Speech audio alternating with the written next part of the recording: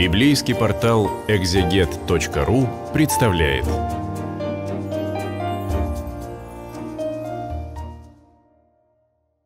Здравствуйте.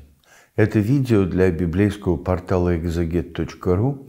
Мы продолжим разговор о книге пророка Захарии и поговорим сейчас о восьмой главе. Восьмая глава – последняя из тех, за которыми стоит проповедь так называемого первого Захарии, э, действовавшего вот в конце минус шестого века, около приблизительно 520 года. Эм, и таким образом она завершает собой первую часть книги. И вот что, собственно, в центре внимания Бога и в центре внимания пророка в этой восьмой главе. А, собственно, смотрите, Господь говорит о том, что а, было время, были обстоятельства, а, когда Бог был против греха Э, народа Божьего, против греха Иерусалима. И вот теперь время поменялось. Поменялось так, что э, вместо негодования Божьего э, Иерусалиму предстоит встретиться с Божьим благословением, с Божьим милосердием. Коротко говоря, Бог сменил гнев на милость.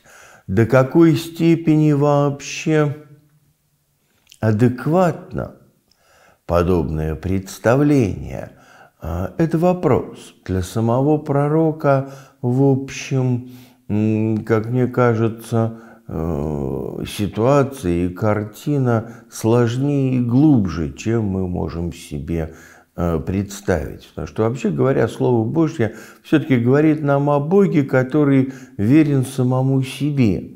И представлять, что вот он там гневался, потом э, перестал гневаться, потом может опять прогневаться и опять перестать и так далее. Вот это вот то, что Господь Иисус называет трость ветром колеблемая, это явно не вся правда, как-то сложнее. И, в общем, на самом деле можно предположить, что отношение Бога к Иерусалиму, отношение Бога к народу Иудину, вообще говоря, остается тем же самым. Меняются отношения людей к Богу. И поэтому то, что из сердца Божьего э, исходит, и то, что э, совершается премудрости Божьей, оказывается либо благословением, либо проклятием зависит, повторю еще раз, от того, что из себя представляют люди. Это одна из центральных тем э, восьмой главы книги пророка Захарии, на самом деле предыдущих нескольких глав тоже. И вот как сформулировать, что можно сказать о том, что это за отношение Бога? Вот он говорит, во втором стихе, так говорит Господь, возревновал я о Сионе ревностью великую. Речь таким образом идет о Боге, которому не все равно. О том, что Богу, Бог не безразличен. Его отношение к э, Иерусалиму, его отношение к Израилю очень-очень личностное, и он возревновал о Сионе. А, это первое. Второе, тоже потрясающее совершенно обетование. Так говорит Господь, я обращусь к Сиону и буду жить в Иерусалиме. И будет называться Иерусалим городом истины. Я буду жить в Иерусалиме. Иерусалим – конкретный человеческий город. И э, никакие здания, города, страны, материки, э, звездные миры, ни, ничто не в состоянии вместить Бога. Но Бог обещает, что Он будет жить вот в этом месте, посреди народа своего. Э, на самом деле это грандиозное обещание, грандиозное.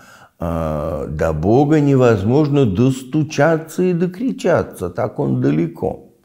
Вот, собственно, переживание многих в Иерусалиме, как до плена, так и после. Бог бесконечно далек, потому что величие Его, как опаляющее пламя, э, делает все наше копошение у ног Его, ну, какой-то, в лучшем случае, мышиной возней. И когда Бог обещает «я буду жить», вот здесь, посреди Иерусалима, это обещание того, что вот эта преграда, этот барьер между человеческой малостью и Божьим величием, этот барьер будет каким-то образом э, преодолен, разрушен. И Господь говорит также о процветании, Он говорит о том, что в этом городе старцы и старицы, которые ходить могут только с э, палками, потому что очень старые, э, и тем не менее, да, выживают все равно, хоть они э, очень старые.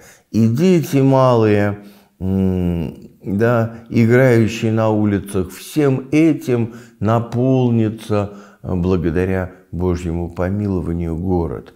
От малых детей, чем больше, тем ярче процветает жизнь в Иерусалиме, до глубоких стариков, которые могут, тем не менее, продолжать жить и э, славить Бога. Вот эта вся картина э, призвана продемонстрировать слушателю первого Захарии именно вот такой вот преизобилующий источник, фонтан жизни. И Господь говорит, Э, это покажется дивным, но это э, неудивительно в моих очах.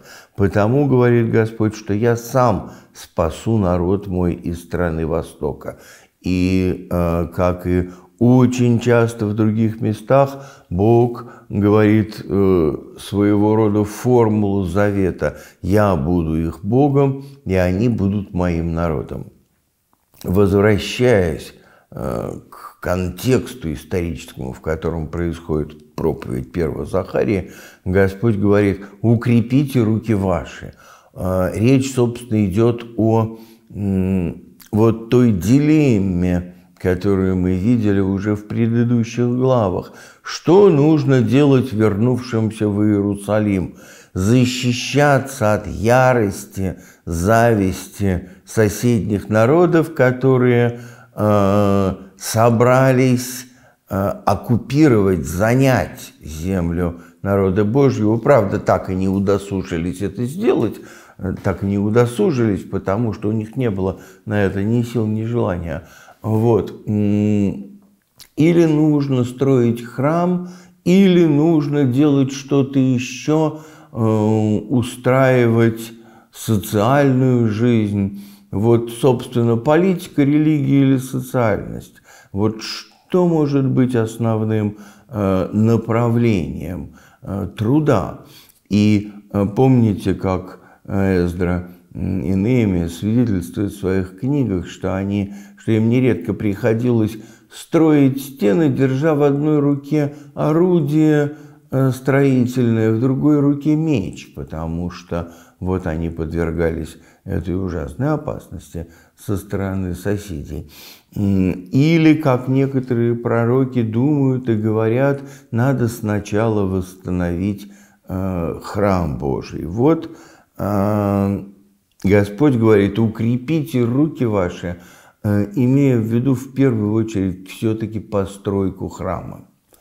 В народе Божьем логика жизни открывается людям как Э, абсолютное сосредоточенное вокруг Бога, вокруг Богопочитания, вокруг завета. Сначала, сначала мы созидаем храм Господень и выстраиваем свои отношения с Богом. И потом э, как-то вот происходит все остальное.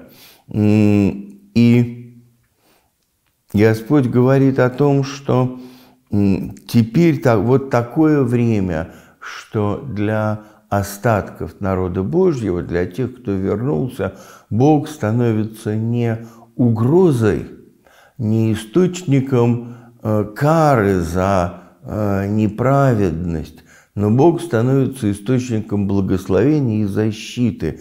Ныне для остатка этого народа я не такой, как в прежние дни, потому что теперь будет время э, процветания, время посева и роста. Виноградная лоза даст плод, и земля даст произведения свои, и я отдам э, все это во владение оставшемуся народу. Вот теперь время, когда люди призваны построить в правде свои отношения с Богом, а все остальное, что вокруг этого, это проблемы, которые будет Бог решать сам.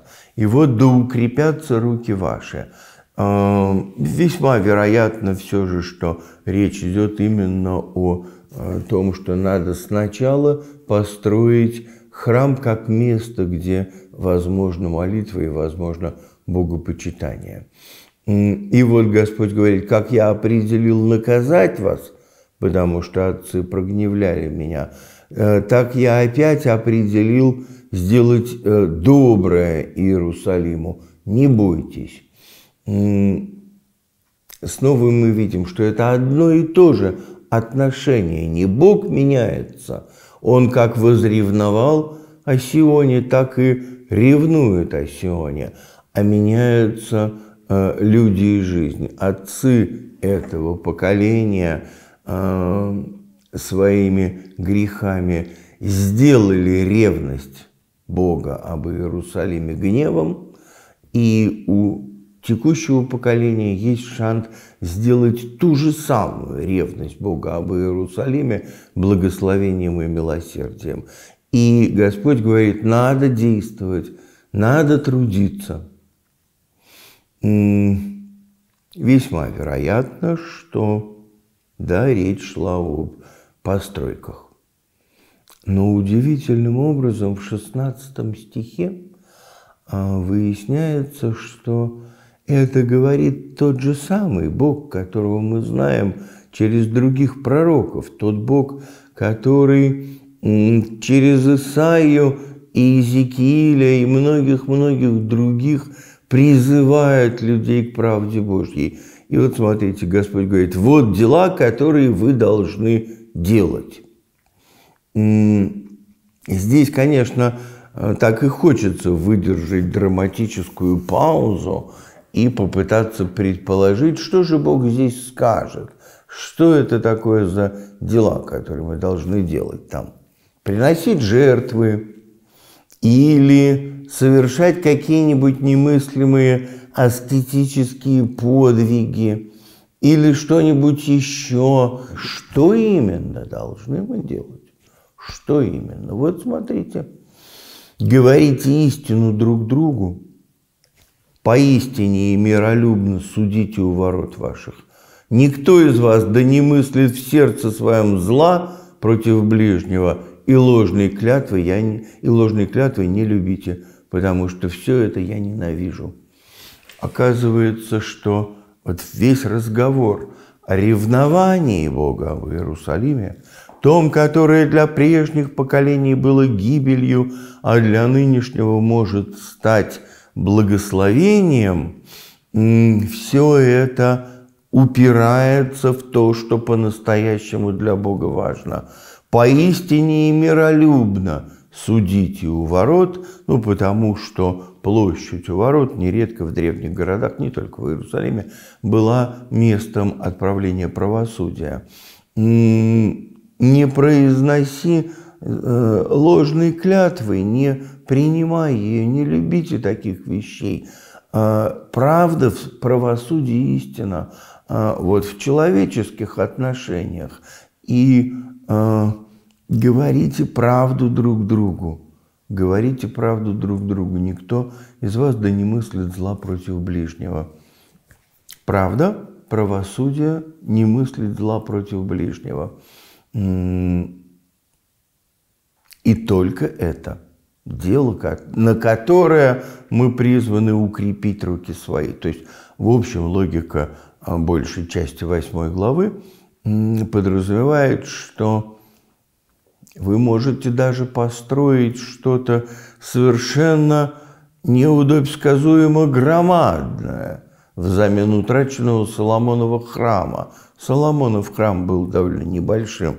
С архитектурной точки зрения, ну, кто хочет посмотреть на то, как он выглядит, выглядел, может приехать в Москву и посмотреть на здание метро «Динамо». Там вот он примерно один к одному, как Соломонов храм. Вот. Но не в грандиозности того, что можно воздвигнуть на этом месте какие-нибудь там небоскребы, не в еще каких-то проявлениях силы, э, крепости человеческой. Нет, дело, которое мы призваны совершить, это сделать так, чтобы в основе всех наших взаимоотношений, всей нашей жизни была правда – и это пугающе трудно. Пугающе трудно, потому что люди действительно бесконечно э, друг другу врут. Бесконечно. И больше того, в наше время, вот сейчас, в 22 году, это также трудно.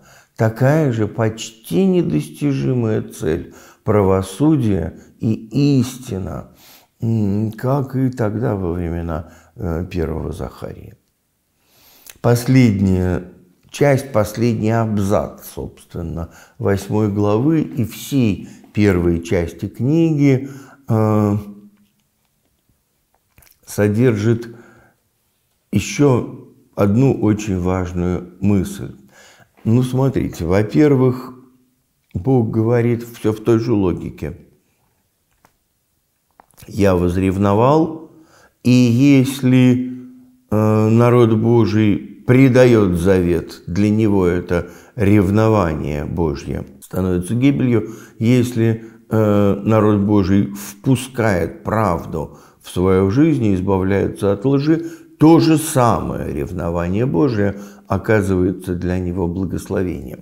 В этом же духе э, Господь говорит через пророка о тех постах, э, траурных постах, о которых э, шла речь, о которых задавались вопросы несколькими страницами выше. Э, надо ли соблюдать теперь, после возвращения, теперь, когда Иерусалим восстанавливается, надо ли соблюдать пост, посвященный его разрушению. И вот Господь говорит, пост седьмого и пост пятого, и четвертого месяца, и десятого сделается для дома Иудина радостью и веселым торжеством. Можно будет с радостью эм, благословлять Бога за э, Его верность истине. И для нас тоже этот пост – воспоминание о тяжелых, мучительных и страшных событиях прошлого может стать Э, радостью и веселым торжеством. Э, Только любите истину и мир, говорит Господь, для того, чтобы ваши собственные скорби, скорби ваших предков могли стать для вас встречей с Богом, источником настоящей радости и веселого торжества, для этого надо любить истину и любить мир – для этого надо не врать и не быть источником вражды и насилия друг для друга и для окружающих. Вот что делает жизнь жизнью. Вот что побеждает ее стра страшность и скорбность. И, наконец, с 20 стиха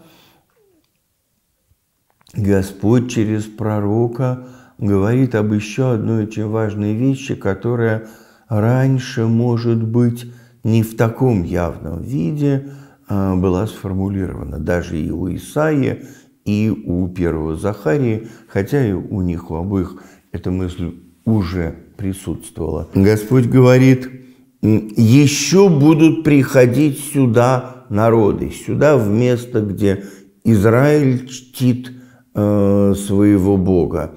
Будут приходить иные народы и жители многих городов.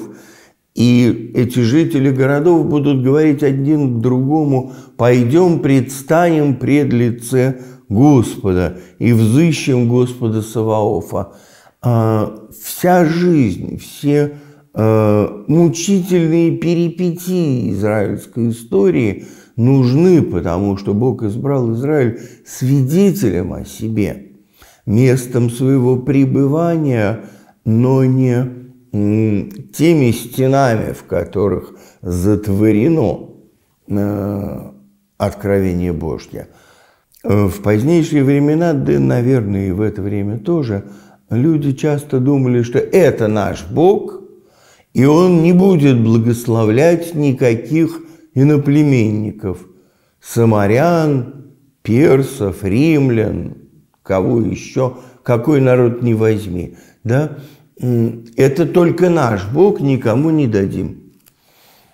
А Бог говорит, нет, это вот все происходящее – в Иерусалиме с Израилем э, до первого Захарии во время, это для свидетельства, для того, чтобы люди могли подняться и прийти поклониться Господу Саваофу, и будут приходить многие племена и сильные народы, чтобы взыскать Господа Саваофа в Иерусалиме и помолиться лицу Господа. Многие народы, чтобы взыскать лице Господа Саваофа. Такова воля Божья, таков Божий замысел.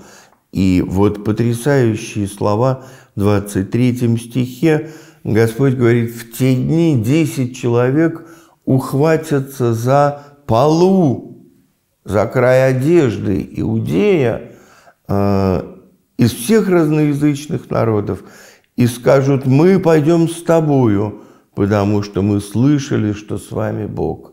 Мы искали того единственного настоящего Бога и услышали, что Он явил себя в истории Израиля. И поэтому ради этого настоящего Бога мы э, пойдем вслед за народом Божьим.